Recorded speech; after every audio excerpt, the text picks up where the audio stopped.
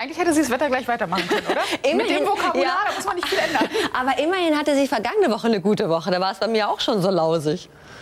Ja, dann denk mal drüber nach. Die Nee, muss ich. Gleich wieder so eine Spitze am Morgen. Das Wetter.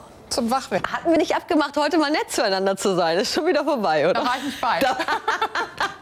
Montagmorgen per se schon kein Garant für gute Laune. Der heutige gibt sich überhaupt keine Mühe. Ganz Deutschland liegt zurzeit unter einer Wolkendecke.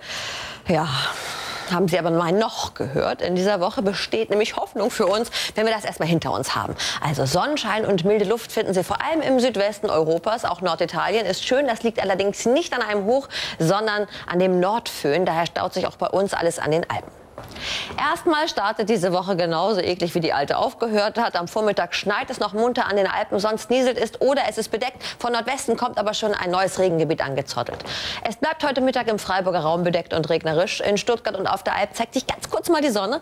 Mit jedem Kilometer weiter in Richtung Osten lassen wir die trockene Zone aber schon wieder hinter uns. Im Münchner Raum erwarten wir heute immer noch viele Wolken und die Alpen, ja, lausig, würde ich sagen. Immer halt oberhalb von 600 Metern schneit es noch ein bisschen. 20 Zentimeter erwarten wir noch mal heute. Der Nachmittag macht wirklich keine bessere Figur. Es bleibt grau nass und es regnet immer wieder. Von Nordwesten eben dieses neue Regengebiet, was bei uns einfällt und Richtung Südosten zieht. Zurzeit so 2 bis 3 Grad im Osten, 4 bis 7 Grad im Westen. Später steigern wir uns auf Berlin 5 Grad und Köln 9 Grad.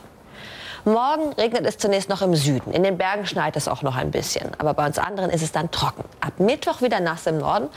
Bei den anderen dann endlich mal Sonnenschein. Naja, meistens ist es Nebel, der nistet sich hartnäckig ein. Aber immerhin der ein oder andere Sonnenstrahl ist dabei und es bleibt trocken. Berlin nicht. Berlin, der trifft der Regen weiter südlich, aber trocken.